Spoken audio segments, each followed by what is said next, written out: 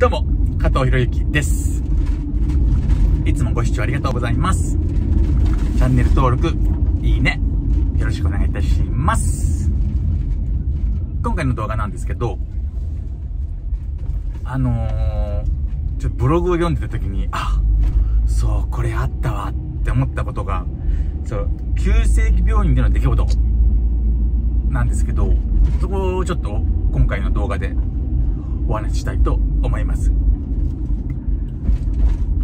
まあ、リハビリがこう始まってて、療法士さんたちともこう、和気あいあいと僕よく喋るんですよね。トー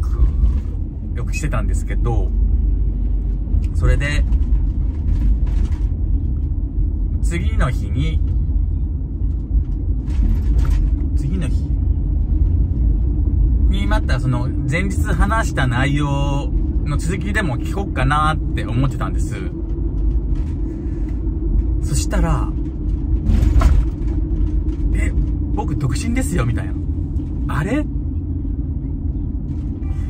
この先、一時停止があります。結婚しなかったっけ？みたいな。いえいえいえいえ。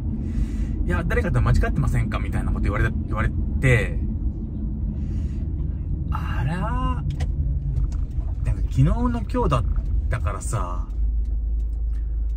うん、間違えるわけないし、だってね、その人に会うって言っても知れてるじゃないですか。しかもリハビリの時にお話ししたっていう。まさかテレビの内容を言うわけでもないしさ。そこで、ああ、そうなんだ、あごめんごめん、じゃあ俺の勘違いだわ、みたいな、いう話で終わったんだけど、正直、ね、病室に戻った時に、いや、待って待って待ってと。あの、ちょっとね、本当にね、頭おかしくなったのかなって、正直な思って、なんか体が動かない以上に、なんか頭がおかしくなったことに、実はすごいショックを受けてたんですよ、これ。あれ、記憶障害なのかなって、それともなんかその、感知できないのかな要は、過去のことはよくは覚えてるんですよ。でも、新しいことが覚えられなくなっちゃったのかなっていう、すごいね、正直、すごいね、なんか、不安というか、おいおいおい、本当どうなったの？どうなったの？って、っ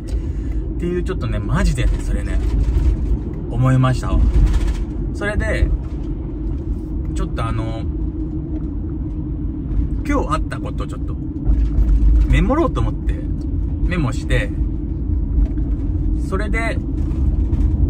次の日に、そのメモ見て、確認ですよね。あ、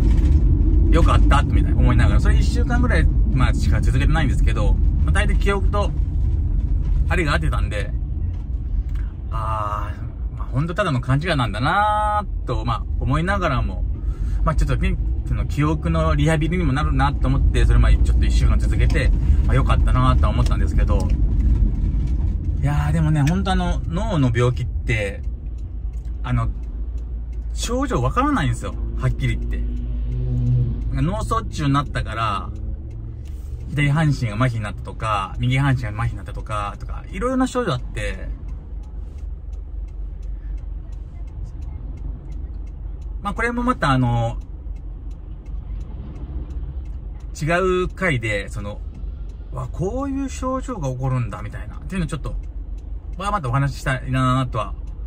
思ってますんで。あのー、今回の動画は、マジでビビった。ほんと将来、自分大丈夫なんかな、みたいな。っていうとこに、ちょっと焦りを感じたけど、それはまあ、た、本当た、なんでそう思ったかっていう、その、理由はちょっとわからないんですけど、そういうことがあって焦ったっていう内容です。ございました。また、何かコメントがありましたら、コメント欄の方へ記入よろしくお願いいたします。以上、加藤でした。バイバイ。